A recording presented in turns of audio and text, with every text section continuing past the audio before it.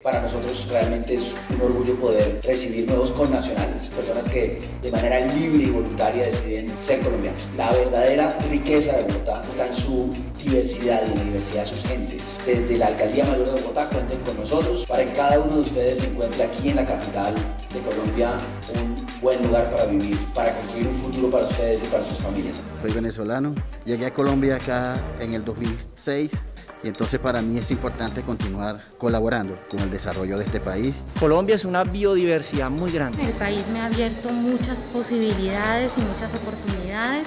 Decidí solicitar la nacionalidad porque pues pienso radicarme ya definitivamente acá en el país.